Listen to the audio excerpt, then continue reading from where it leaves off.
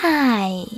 In front of me is Realme GT Neo 3T, and today I would like to show you how you can change font style on this device.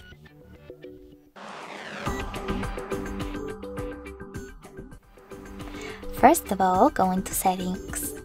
Now scroll down and choose personalizations. After that, click on font and display size and tap on one of those font styles, Real Choice or Roboto. When you're ready, you can save your new style by tapping on Apply. And as you can see, when I go back, style of my text has changed.